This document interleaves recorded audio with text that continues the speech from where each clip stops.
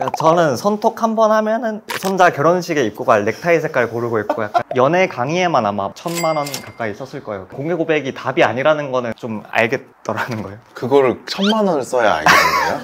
이렇게 연애가 어렵습니다, 여러분. 네, 안녕하세요. 저는 세상에 나쁜 모태솔로는 없다라는 모태솔로 동반인 음. 부캐를 키우고 있는 박영채라고 합니다. 근데 그 일을 어떻게 하게 되신 거예요? 연애에 있어서 누구보다 되게 힘들었던 사람이 사실 저거든요. 저는 이제 파리 샌드강에서 공개 고백했던 경험도 있고 이제 그 친구가 나 유람선 유람선에서? 유람선에서 그래서 그 친구가 나중에 이제 편하게 얘기해주기로는 이제 네. 물에 빠지고 싶었다고 그렇게 얘기 얘기해주더라고요. 저도 제가 멋있는 거 하는 줄 알고 이상한 나쁜 남자 같은 거 보고 와가지고 네. 야 너랑 할 얘기 있어 하면서 이렇게 애기야 가자! 애기야 가자. 대학교 때 막 첫 연애 시작하기 전에는 그때 방학 때는 이제 다들 고향 내려가잖아요. 네. 근데 그 친구랑 막 잘 해보고 싶어서 음. 그 친구 고향 찾아가가지고 야 만나자 막 이러고 막 되게 갑자기? 네 완전 진상 of 진상이었던 거죠. 그 근데 영채님 그럼 언제까지 모태 솔로였어요? 몇 살? 저는 23살까지 모태 솔로였어요. 그럼 또 그렇게 늦은 것도 아닌데 스스로 거기에 대한 약간 컴플렉스도 있기도 했고 23살 때 첫 연애를 시작을 했잖아요. 네네 결론부터 말씀드리자면 그 친구가 이제 바람을 폈죠. 아 그때가 여름방학이었을 거예요. 한 한 달 동안 아무것도 안 하고 가만히 누워 있었어요. 그 얼마나 사귀었는데요? 한 1년 반 정도 만났어요. 아 그게 만났구나 네, 네. 어머니께서 그 꼴을 보시다가 방에 와가지고 찬물을 이렇게 확 뿌리신 거예요. 그 찬물을 계기로 그냥 갑자기 산티아고 순례길로 편도 티켓을 끊어서 가요. 극단적이네요 네, 약간 뭐라도 해야 될 것 같아서. 어... 그래서 이제 가서 이제 무작정 걸었죠. 40일 동안 길에서 먹고 자고 하면서 와. 와, 40일쯤 되면은 산티아고 순례길 마지막에 세상의 끝이라는 곳이 있어요. 지평선이 있는 곳이에요. 거기서 이제 한 3시간 동안 생각을 했죠. 아, 내가 내 첫 여자친구 이 친구 하나만 보고 내가 인생을 살아왔는데 음. 이 친구는 이제 나를 버렸고 이제 뭘 할지를 모르겠는 거예요. 그래서 3시간 동안 생각하고 보통은 이제 멋있는 거 생각하잖아요. 나는 사람들을 위한 인생을 살 거야. 막 이런 말들을 하는데 저는 그 당시에 연애를 해보자. 연애라는 것을 공부해보자. 그 당시 에버랜드로 향했죠. 그 알박의 약간 연애 성지 네. 사람들 맨날 관찰하고 심리학 책도 읽고 연애 강의에만 아마 막 천만 원 가까이 썼을 거예요. 그 당시에. 집요하게 공부하니까 제가 되게 어렵게 생각했던 것들이 조금은 요령이 있더라고요. 적어도 제가 옛날에 했던 것처럼 공개 고백이 답이 아니라는 거는 좀 알겠더라는 거예요. 그거를 천만 원을 써야 된 거예요? 저는 저는 그랬어요. 저는 그래서 에버랜드에 들어가서 바로 연애를 시작을 했어요. 오 그 요령을 제가 알았잖아요. 근데 당시에 제 부서가 남초 부서였거든요. 네. 애들이 라커실에서 옷 갈아입으면서 막 얘기를 하는 거예요. 막, 아, 근데 쟤 나 안 좋아하는 것 같아. 쟤 무슨 심리일까? 제가 이제 그 해결책이 조금 조금씩 보이는 거예요. 네. 그래가지고 당시에 이제 제 선배였는데 네. 찾아갔죠. 이 경우에는 이렇게 하는 게 좀 좋을 것 같습니다. 라고 말씀을 드린 거예요. 네. 그 선배한테. 네. 근데 그 선배가 실제로 연애를 성공을 했어요. 오 그러다 보니까 제 조금 아는 애 이렇게 음. 된 거예요. 음, 음, 그래서 음. 소문이 조금 조금 나면서 그렇게 한 명씩 한 명씩 이제 상담이 들어오기 시작했군요 네 맞아요. 주변 동료부터 시작하고 이제 네. 주변 친구들 또 고향 친구들까지 상담을 하기 시작을 해가지고 그러면 그 얘기해보면 되게 재밌을 것 같아요 모태솔로들의 특징 이런 게 있어요? 제가 볼 때는 약간 두 가지 부류로 나뉘는 것 같거든요. 그래서 예를 들어서 제가 이 컵이 있잖아요. 음. 그러면 앤드류님 이 컵을 한번 만져보시겠어요? 어 왜 만지려고 해요? 여기 양킹님이 한 건데 아니, 그러니까 네 그거 그거 그러니까 야, 만지려고 해보실래요? 어 잠깐 잠깐 잠깐 잠깐 잠깐 잠깐 그거를 조금 믹스해서 네네네 아니, 그러니까 알겠습니다 조금 구현해서 알겠어요. 말씀드리고 다시 다시 싶어서. 편집 네. 이게 모태솔로 분들은 음. 약간 이 컵이 있으면 네. 이 상대방이 만지려고도 하기도 사- 전에 아... 먼저 이렇게 막으려는 경향이 강해요. 어, 쟤 이렇게 하는 거 보니까 나 좋아하는 것 같은데? 쟤 나 싫어하는 거 아니야? 너무 약간 민감한 거죠. 상대방의 반응에 대해서. 너무 상상의 나를 펼치는군요 네, 너무 약간 과한 거죠. 이런 혹은 나머지 부류는 이런 부류가 있으세요. 앤드님 이 컵 만져보시겠어요? 그러니까 아무런 재질을 가하지를 않는 거예요. 시그널을 주는데도 그걸 못 읽는구나 안 읽는 것 같아요. 제가 봤을 때는 일부러. 왜요?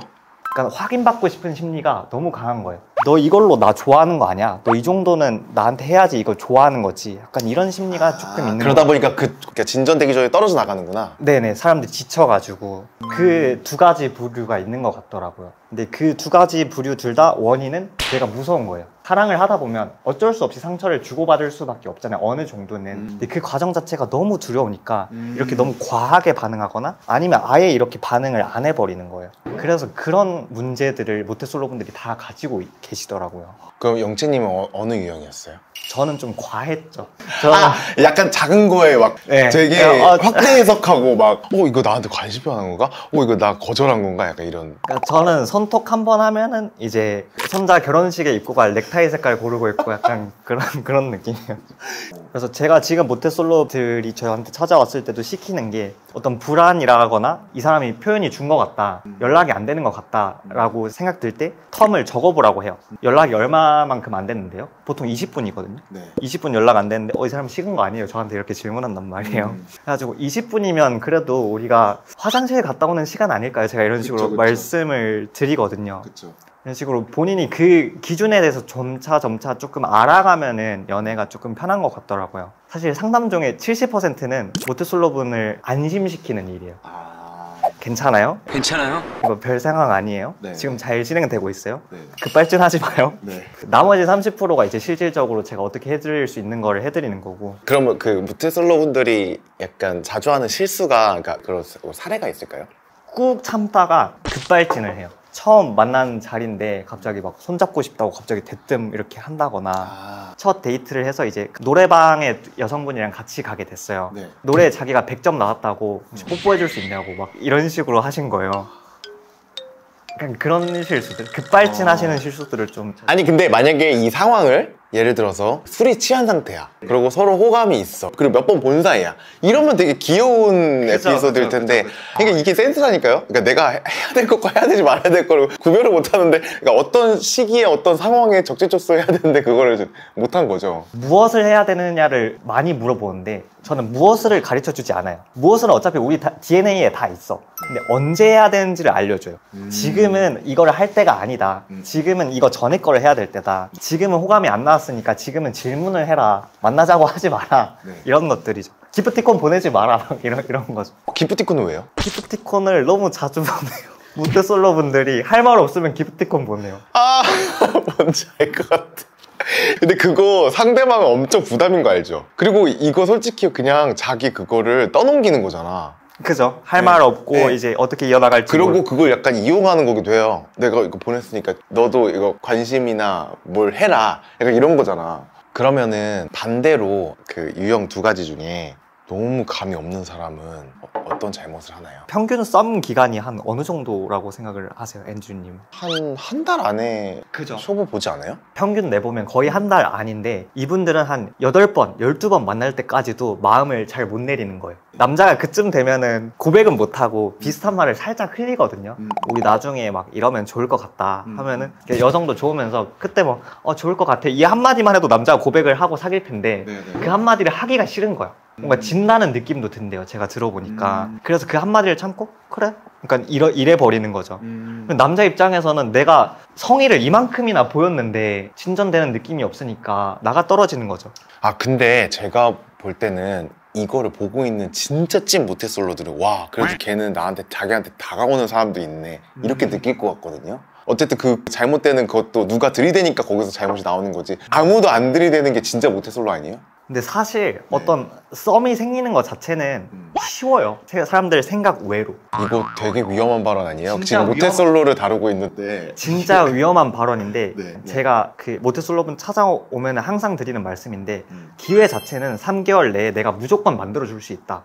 오 근데 그거를 전환시키는 게 안 돼서 음. 모태솔로인 경우가 되게 많다 라고 말씀드리거든요. 아 그래요? 제가 만났던 모태솔로들은 네. 그러니까 아예 그냥 연애에 관심 없는 사람 말고 네네. 연애를 하고 싶은데 못하는 사람도 있잖아요 네네. 대부분 약간 자신감이 없던데 제가 아까 전에 말씀드렸던 3개월 안에 삼- 그 3개월 동안 뭐래요? 스타일리스트 분을 불러서 꾸미기도 하고 아, 외적인 그 네. 자신감을 자신감도. 주고 네. 그걸로 하니까 안 되더라고요. 음. 그래서 이제 아나운서 분을 불러서 발성이라던가 스피치 같은 것도 가르쳐요. 그 연기자 친구를 불러서 연기 수업을 해봐요. 왜냐하면 이성을 대해본 경험이 없으니까 다양한 상황에 어떻게 대해야 되는지 모르는 거예요. 되게 뚝딱거리기만 하니까 그렇게 해서 준비를 시킨 다음에 이제 연애할 수 있는 환경을 되게 많이 세팅을 해두죠. 그 다음엔요? 그 다음에 이제 썸을 갖고 오겠죠 저한테. 어? 아, 니지 네. 그렇게 한다고 썸이 생긴다고요? 그렇게 한 다음에 그 3개월 동안에 밥 먹고 연애 관련 행동만 할 수 있는 환경을 만들어 주는 거예요. 뭐 집에 있는 시간 없어. 그냥 다 모임 나가고 뭐 어, 어플도 시키고 할 수 있는 모든 방법을 쓰는 거예요. 아 근데 그렇게까지 해서 연애해야 되나?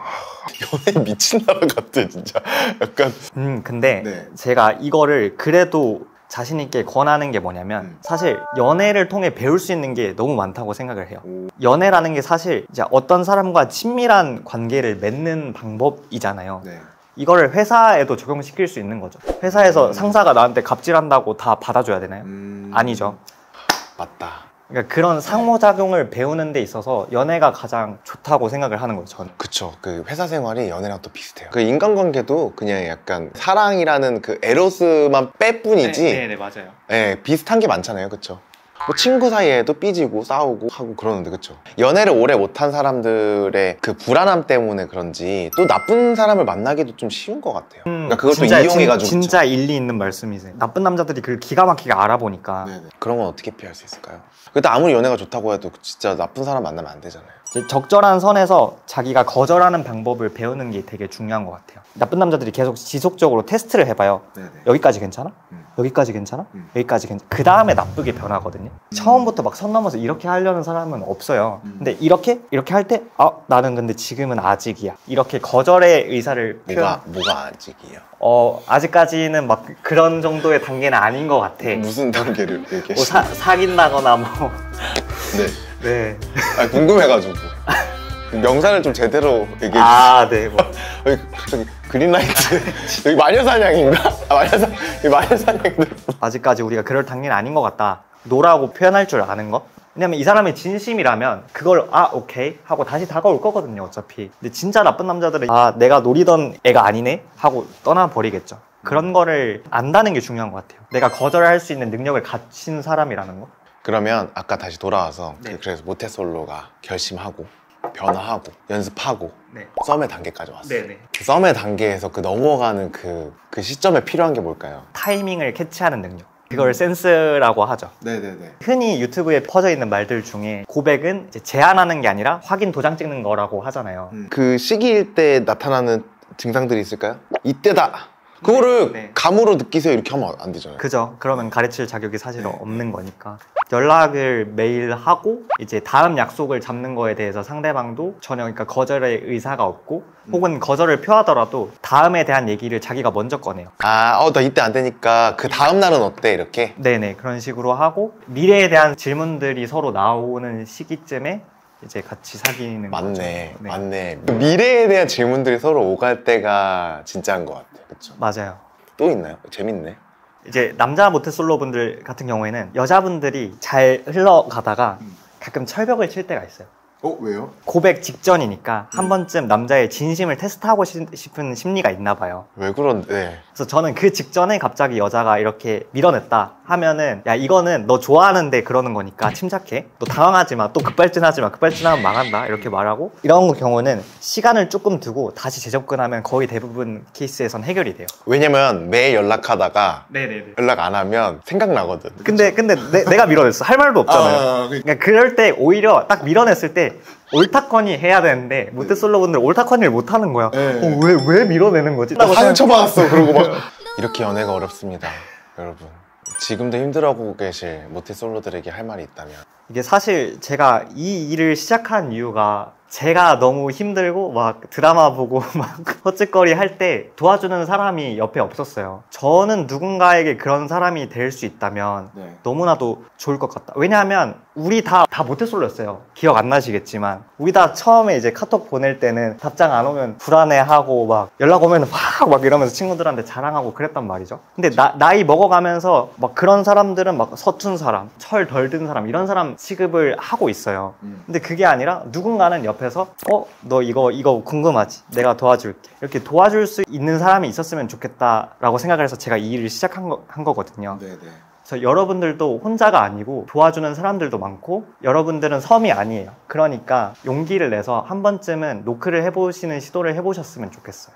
맞아요. 그러고 그런 실수도 해봐야지, 그쵸? 저, 저처럼 하지는 마시고. 처음부터 잘하는 사람이 있어, 그쵸? 이렇게 막 실수도 해보고 하면서 서툴렀을 때의 그런 것들이 더 진정성 있고 추억이 되기도 하고. 추억이 되기도 하고 심지어 내가 실수했어도 그걸 좋아하는 사람이 있을 수도 있어. 누군가는 샌드강에서의 그 고백이 너무 로- 이러면서 좋아할 수도 있어요. 그, 그 오늘의 교훈. 급발진하지 말자. 급발진 말고 때를 기다리자. 무엇을 하느냐가 아니라 언제 하느냐가 중요하다. 그래서 오늘 영채님은 넥스 드로앤드류의 5인에 뽑힌 분이고요. 밀리의서재라는 앱에 밀리로드라는 곳이 있어요. 제목이 뭐죠? 모태솔로 연애 조작단입니다. 더보기에다가 넣어놓을 테니까 궁금하신 분들은 한번 읽어보시면 재밌을 것 같아요. 오늘은 여기까지. 네, 오늘은 여기까지.